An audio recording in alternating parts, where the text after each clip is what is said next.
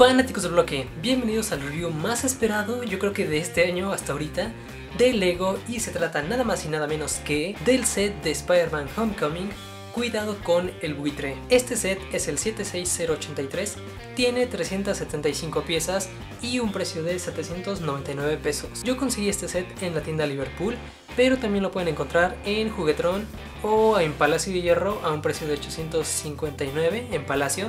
Y en Juguetron y Liverpool se mantiene su precio a 799 entonces se los recomiendo ahí. Este es el set más grande de los que salieron de Spider-Man Homecoming y es el que más les recomiendo porque tenemos a los dos villanos principales Shocker y el buitre. Tenemos una gran construcción en las salas de buitre tenemos a Spider-Man y también a Iron Man. Entonces incluso es de los mejores sets de este año por todo lo que incluye por todo lo que trae en cuanto a la película, cosas muy icónicas y construcciones geniales. Así que, sin más, pasemos a ver este set.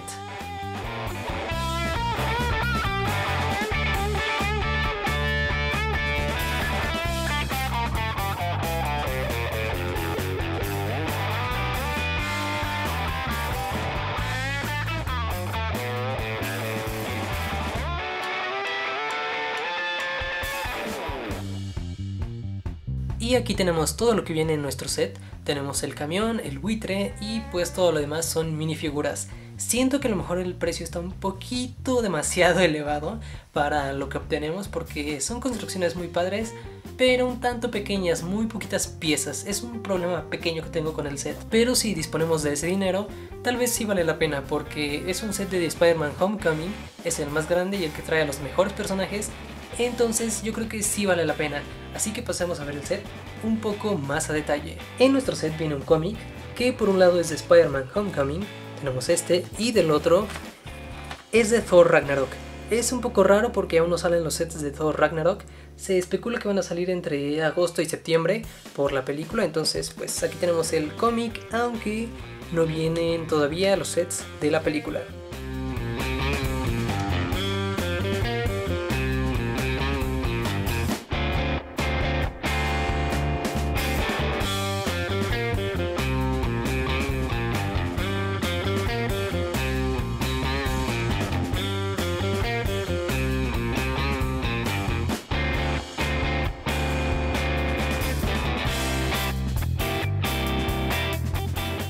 También tenemos los dos instructivos que están bastante sencillos, la verdad las construcciones no son demasiado elaboradas, son bastante simples. El primero es para el set del buitre. Tenemos aquí los, el anuncio de los sets de Homecoming y Thor Ragnarok. Ahí los tenemos, esperemos que salgan pronto. Los de Thor Ragnarok. Y tenemos el segundo instructivo para la camioneta. Este ya está muy grande, pero pues igual, bastante sencillo. No es nada muy complejo. Bueno amigos, empecemos este review con una de las partes que creo que es de lo más esperado y es el buitre. Esta parte de la construcción consiste en las alas del buitre y pues haciendo comparaciones con las alas de la película, obviamente va a ser un poquito diferente pues no es tan fácil adaptar esta construcción a una forma en Lego y aquí creo que Lego lo hizo bastante bien. Siento que sí tiene la forma bastante parecida al que tiene en la película. Creí que sí me iba a decepcionar un poco la construcción de las alas, pero la verdad al verlas ya terminadas, creo que hicieron un muy buen trabajo. Y obviamente el detalle de la minifigura le da puntos extra porque la minifigura está de maravilla. Así que amigos, pasemos a ver al buitre más a detalle.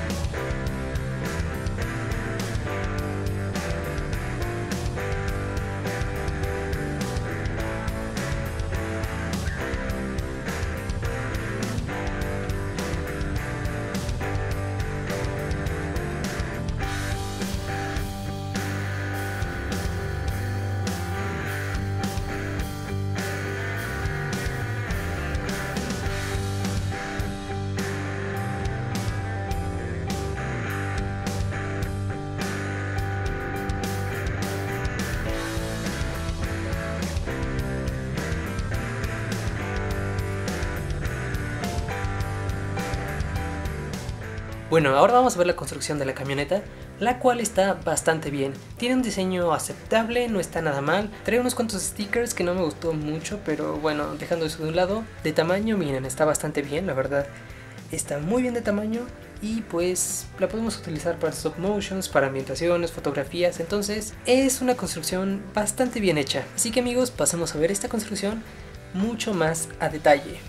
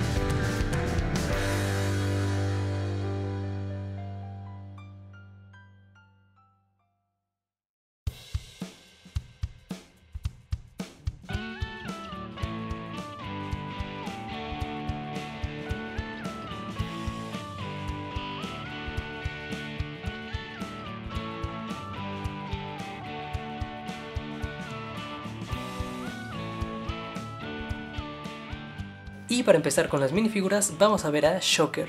Shocker es una minifigura bastante padre, no hemos visto mucho de él en material de la película. Me hubiera gustado más que fuera la versión con traje, ya que hemos tenido algunos promocionales con su traje, entonces que hubiera venido por lo menos con su máscara. Pero pues tuvimos un Shocker diferentes, lo único de su traje son sus brazos, con este estampado típico del Shocker de los cómics, y está bastante bien. Lo que tampoco me gustó mucho de esta figura fueron los puños. Son puños que creo que han utilizado en sets de, creo que de Ultra Agents, de Nexonites creo que también salen. Entonces no siento que vayan mucho este, este tipo de puños con Shocker. Creo que hay otros puños que pueden quedarle mejor.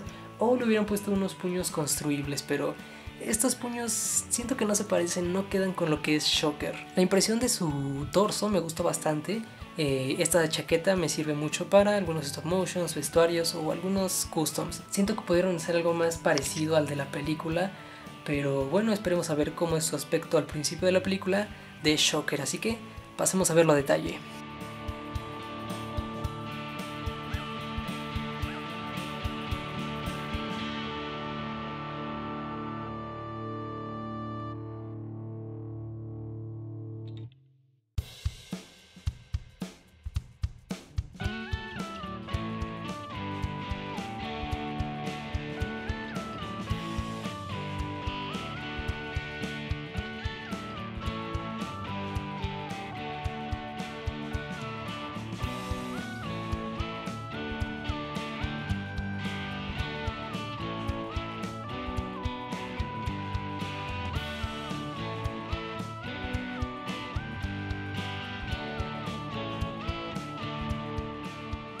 Ahora vamos a ver al buitre, pero sin sus alas, la pura minifigura.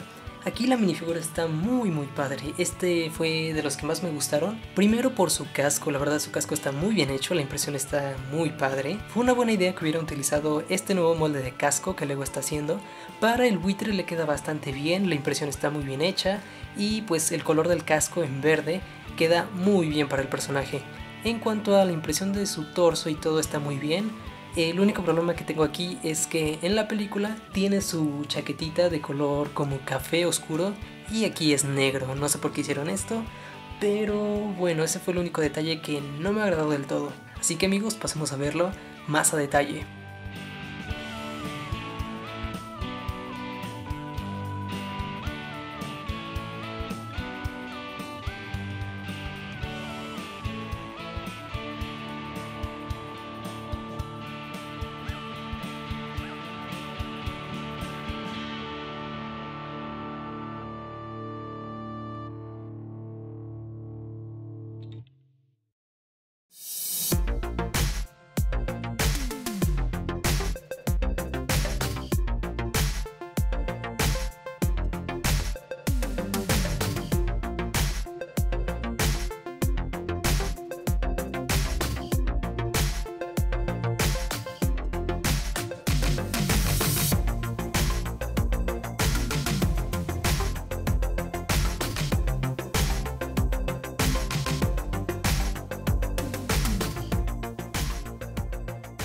Y amigos, aquí tenemos una de las figuras más esperadas de este año y también una de las mejores, Spider-Man de Homecoming. Esta es una impresión muy diferente a la que tuvimos en el set del año pasado de Civil War. En lo personal me gusta mucho más esta porque bueno, tiene la nueva araña, tiene una impresión en los brazos diferente y sobre todo lo que más me gustó fue que en este set tenemos a Spider-Man con muchísimos accesorios. Tenemos una telaraña, de esas que son como una cuerdita, esas típicas telarañas de Spider-Man. También tenemos una telaraña grande de plástico que está muy padre, nos va a servir tanto para stop motions, para fotografías, nos sirve mucho esta pieza, está muy padre. También tenemos sus lanzadores de esta nueva pieza que Lego utilizó, que está implementando. En lo personal, el color no me agrada del todo, se ve medio rara en blanco. Yo creo que queda mejor para Iron Man o para algún otro personaje, pero bueno, esta simula como una telaraña golpeando o siendo movida y pues no se ve mal. Entonces, él dispara estas piezas y por último tenemos un teléfono. Entonces ese se me hizo un muy buen detalle que incluyeran un teléfono para Peter Parker. Le queda muy muy bien. Sin duda esta es mi minifigura favorita del set, así que pasamos a verla más a detalle.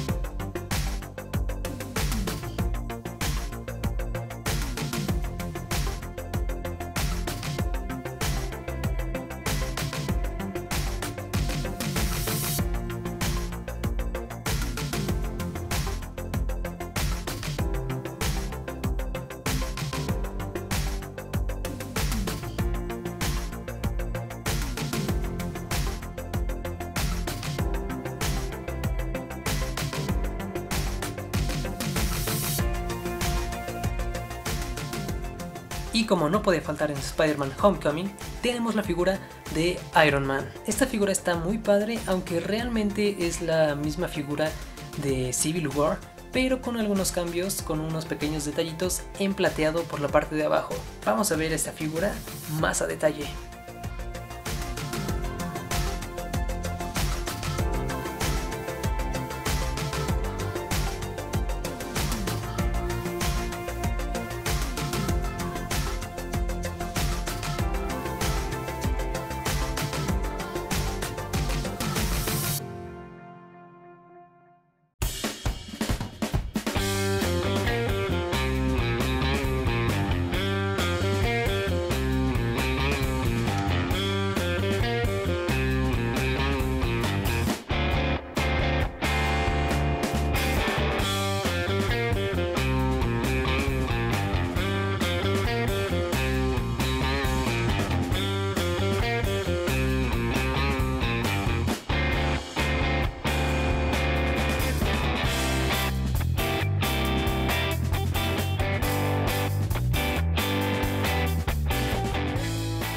Bueno amigos, en conclusión de este set, es un set realmente genial. Ahorita tenemos muchos promocionales de la película de Spider-Man Homecoming. En cuanto a los sets de Lego, este es la mejor opción. Sin duda les recomiendo que si tienen la posibilidad, compren este set, ya que tenemos pues al villano de la película, el villano principal que es Vulture, acompañado de la construcción de sus alas que en mi opinión es simplemente genial. Sí siento que es un set un poco caro, 800 pesos y tenemos casi 400 piezas, entonces sí es un poco caro, pero bueno, tenemos en cuenta que el precio del Lego ya subió debido al cambio de dólar y también porque es de la licencia de Spider-Man Homecoming, entonces los sets así suelen ser un poquito más caros, pero sin duda si cuentan con el dinero para conseguir este set, no los va a decepcionar. Y esto sería todo este review, espero que les haya gustado, a mí me encantó hacer este review, es un set por el que tenía muchas ganas de hacer el review y de tenerlo en mis manos. Y cuando por fin lo conseguí fue algo genial. Por ahí hice un video de cuando fuimos a buscar este set y pues vimos algunas novedades de Lego, estaban los Breakheads, estaban los nuevos sets de Star Wars, de Lego Batman y por supuesto los de Homecoming. Entonces pues creo que voy a estar haciendo este tipo de videos cuando haya surtido de Lego en las tiendas aquí de México. Voy a estar yendo para grabar un poco lo que pueda de novedades. Es una nueva sección que voy a poner en el canal y pues creo que les gustó mucho y a mí también me gustó mucho hacer este video. Antes de irme, como siempre, quiero mandarles sus saludos. Un gran saludo para Rogue Gamer, para Emiliano Benjamín Martínez, para Tiago36, para Ian Ángulo, para Legomaníacos por Armando, para Jesús123 Megamax, no, Mega Man X, para Alexei Alarcón, para Fernand RA, para Axel Cookies, para David Campoverde, para Naveta 225 G2, para Creando con Manuel Stop Motion y más, para Señor Geek y para Lego Rich Pro. Esos son los saludos que alcanza a notar hasta el momento en que hice este video. Ya saben, pidan saludos aquí abajo para un próximo video. Y amigos, nos vemos muy pronto en el especial Homecoming.